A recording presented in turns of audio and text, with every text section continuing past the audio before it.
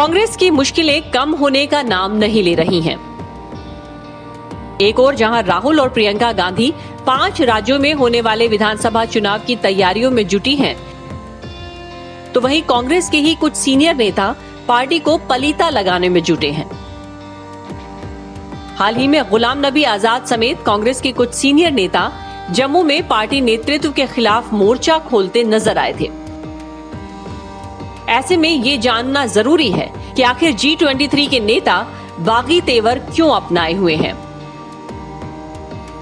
दरअसल कांग्रेस की भीतरी घमासान के बीच ये कहा जा रहा है कि जी ट्वेंटी थ्री में शामिल नेता नेतृत्व पर सवाल इसलिए खड़े कर रहे हैं क्योंकि इनमें से कई नेताओं को कहीं भी उचित जगह नहीं दी गई है।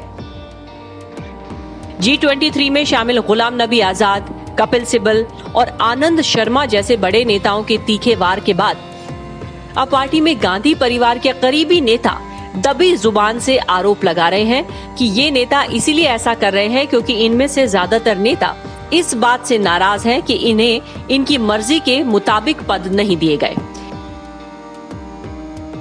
गांधी परिवार के करीबी सूत्रों का आरोप है कि गुलाम नबी आज़ाद इस बात से नाराज़ हैं कि उन्हें राज्यसभा का कार्यकाल खत्म होने के बाद पार्टी ने फिर से राज्यसभा नहीं भेजा। वहीं सूत्रों का आरोप है कि राज्यसभा में विपक्ष के उपनेता आनंद शर्मा उम्मीद लगाए बैठे थे कि आज़ाद के बाद नेता विपक्ष उन्हें बनाया जाए।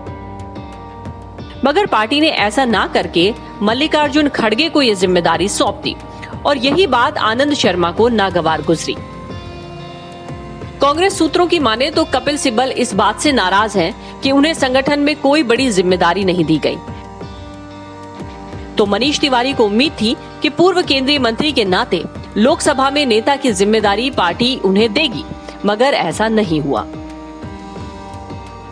पार्टी ने उस वक्त भी ये ज़िम्मेदारी मनीष तिवारी को ना देकर पश्चिम बंगाल से सीनियर सांसद अधीर रंजन चौधरी को दे दी थी। खबर है कि मनीष तिवारी के तेवर तब से ही तल्ख है। अगर बात की जाए हरियाणा के पूर्व मुख्यमंत्री भूपेंद्र सिंह हुड्डा की तो खबर के मुताबिक हुड्डा कुमारी शैलजा को हरियाणा प्रदेश कांग्रेस अध्यक्ष बनाए जाने से खासा नाराज़ हैं।